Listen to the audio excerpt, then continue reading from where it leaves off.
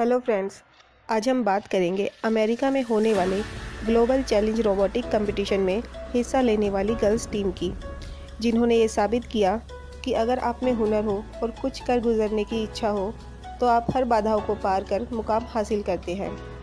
और यह साबित कर दिखाया है अफ़गानिस्तान की इन छः लड़कियों ने।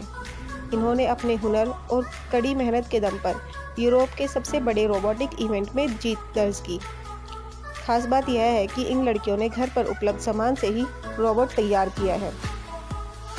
इनके इसी हुनर को आखिरकार यूरोप के टालिन में हुए सबसे बड़े रोबोटिक्स 2017 फेस्टिवल में सराहा गया। इनके इसी हुनर से प्रभावित होकर इन्हें विजेता भी घोषित किया गया।